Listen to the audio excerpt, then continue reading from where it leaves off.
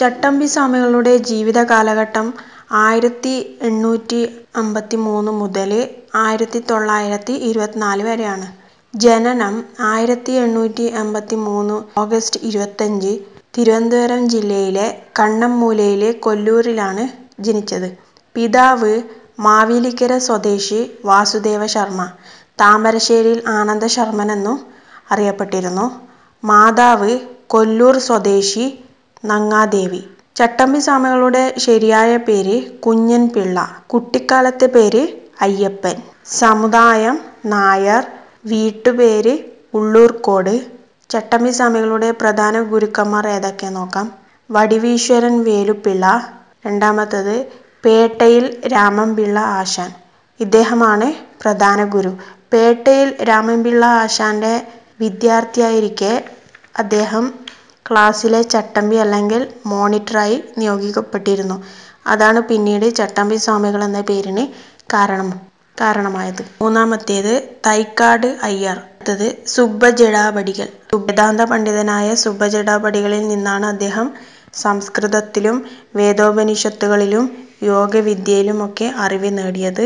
ഇനി അദ്ദേഹത്തിന്റെ പ്രധാന ശിഷ്യന്മാർ ആരൊക്കെയെന്ന് നോക്കാം. ഒന്നാമത്തേത് ശ്രീനാരായണ ഗുരു.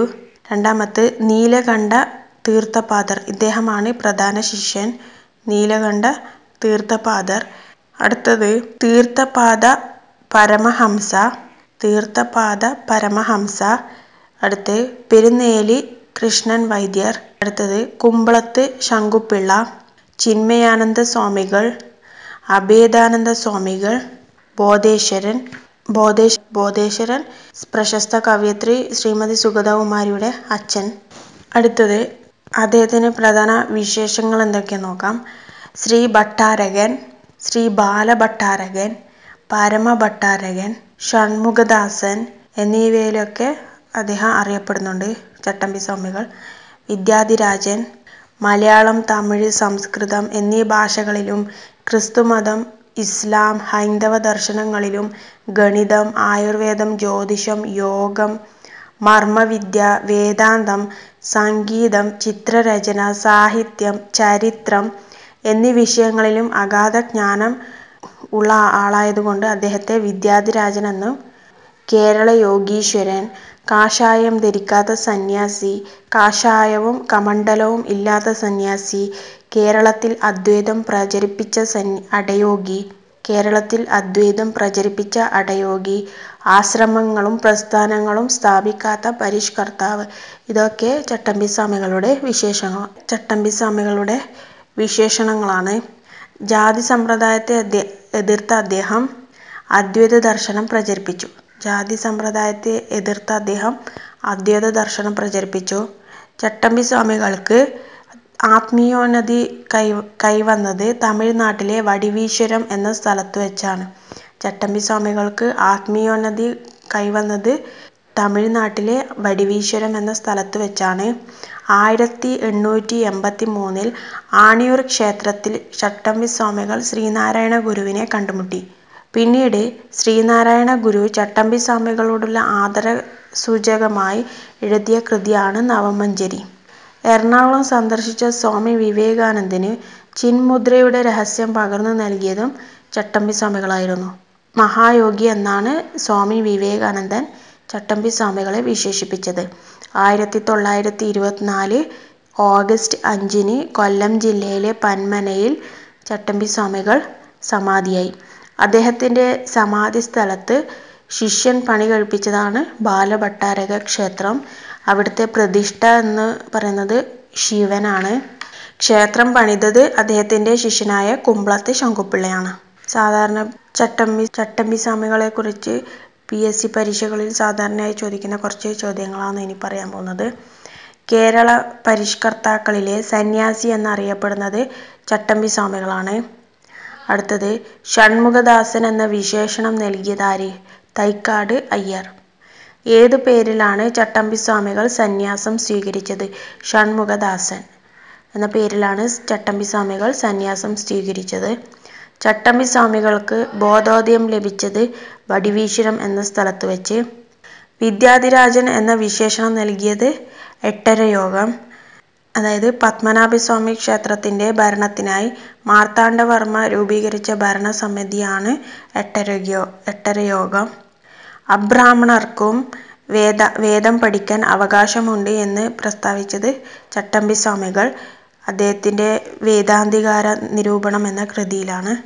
സർവലോകവും ഏക മനസ്സാണ് മനസ്സുകൾക്ക് ഇടയിൽ ശൂന്യ ശൂന്യതയില്ല എന്ന് പറഞ്ഞത് ചട്ടം ചട്ടമ്പിസ്വാമികളാണ്. അയിത്തം അറബിക്കടലിൽ തള്ളേണ്ട കാലം അതിക്രമിച്ചിരിക്കുന്നു എന്ന് പ്രസ്താവിച്ചതും ചട്ടമ്പി സ്വാമികളാണ് ചട്ടമ്പി സ്വാമികൾ ആവിഷ്കരിച്ച മതം തീർത്ഥപാദ മതം ചട്ടമ്പി സ്വാമികൾ വിവേകാനന്ദനെ കണ്ടുമുട്ടിയത് എപ്പോൾ? ആയിരത്തി എണ്ണൂറ്റി തൊണ്ണൂറ്റിരണ്ട് എറണാകുളം അല്ലെങ്കിൽ കൊച്ചിയിൽ വെച്ചാണ്. ഞാനിതാ ഇവിടെ മലബാറിൽ യഥാർത്ഥത്തിൽ ഒരു മനുഷ്യനെ അല്ലെങ്കിൽ ഒരു സന്യാസിയെ കണ്ടുമുട്ടി എന്ന് ആരാരെക്കുറിച്ചാണ് പറഞ്ഞത്? വിവേകാനന്ദൻ. സ്വാമി വിവേകാനന്ദൻ ചട്ടമ്പി സ്വാമികളെക്കുറിച്ച് പറഞ്ഞ വാക്കുകളാണ് ഇവ. ശരിക്കും തീ പോലുള്ള വാക്കുകൾ. ഇത് എഴുതിയ കടലാസ് എന്തുകൊണ്ട് കത്തിപ്പോയില്ല? കത്തിപ്പോകാഞ്ഞത് മഹാഭാഗ്യം എന്നത് ആര് പറഞ്ഞതാണ്?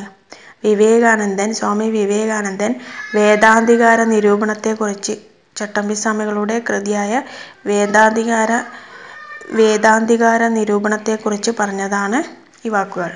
വിവേകാനന്ദന് ചിന്മുദ്രയുടെ ഉപയോഗങ്ങളെക്കുറിച്ച് ഉപദേശിച്ചു ചട്ടമ്പി സ്വാമികൾ കേരള സ്ത്രീകളുടെ സാമൂഹ്യ വിമോചനത്തിന് വേണ്ടി പോരാടിയ ആദ്യ പരിഷ്കർത്താവ് ചട്ടമ്പി സ്വാമികൾ ശിവയോഗിയുടെ മോക്ഷ ബ്രഹ്മാനന്ദ ശിവയോഗിയുടെ മോക്ഷപ്രദീപത്തിന് മറുപടിയായി ചട്ടമ്പി സ്വാമി എഴുതിയ കൃതിയേതാണ്? മോക്ഷപ്രദീപ ഖണ്ഡനം. ചട്ടമ്പി സ്വാമികളുടെ ആദ്യ കൃതി സർവമതസാരസ്യം.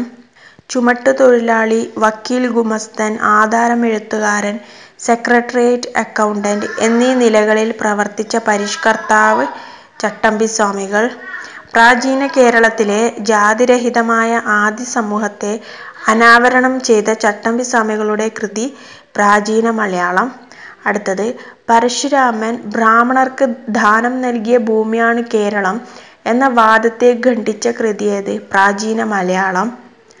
കേരളോത്പത്തിയുമായി ബന്ധപ്പെട്ട ഐതിഹ്യം അസംബന്ധമാണെന്ന് വാദിക്കുന്ന ചട്ടമ്പി സ്വാമികളുടെ കൃതി പ്രാചീന മലയാളം ചട്ടമ്പി സ്വാമികളുടെ സമാധി അനുശോചിച്ച് എഴുതിയ കാവ്യങ്ങൾ ഏതൊക്കെയാണ് നവമഞ്ചരി എഴുതിയത് ശ്രീനാരായണ ഗുരു സമാധി സപ്തതം സമാധി സമാധി സപ്തതം എഴുതിയത് പണ്ഡിറ്റ് കെ. പി. കറുപ്പൻ. ചട്ടമ്പിസ്വാമികൾ ജീവിതവും കൃതികളും എന്ന പുസ്തകം രചിച്ചത് ഡോക്ടർ കെ. മഹേശ്വരൻ നായർ. കേരള സർക്കാർ ജീവകാരുണ്യ ദിനമായി ജീവകാരുണ്യ ദിനമായി ആചരിക്കുന്നത് ചട്ടമ്പി സ്വാമികളുടെ ജന്മദിനമാണ്. ചട്ടമ്പി സ്വാമികളുടെ പേരിൽ തപാൽ സ്റ്റാമ്പ് പ്രസിദ്ധീകരിച്ചത് രണ്ടായിരത്തി പതിനാല് ഏപ്രിൽ മുപ്പതിന്. ഇനി ചട്ടമ്പി സ്വാമികളുടെ പ്രധാന കൃതികൾ നോക്കാം.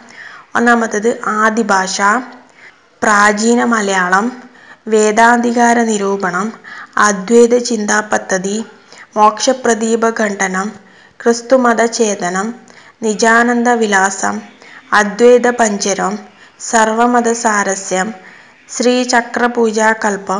ജീവകാരുണ്യ നിരൂപണം പുനർജന്മ നിരൂപണം വേദാന്ത സാരം കേരളത്തിലെ ദേശനാമം. ഇത്രയൊക്കെയാണ് ചട്ടമ്പി സ്വാമികളെക്കുറിച്ച് പറയാനുള്ളത്. Thank you friends. എന്റെ ഈ വീഡിയോ നിങ്ങൾക്ക് ഇഷ്ടമായെങ്കിൽ എന്റെ യൂട്യൂബ് ചാനൽ സബ്സ്ക്രൈബ് ചെയ്യുക. എന്റെ വീഡിയോസ് ലൈക്ക് ചെയ്യുക, ഷെയർ ചെയ്യുക.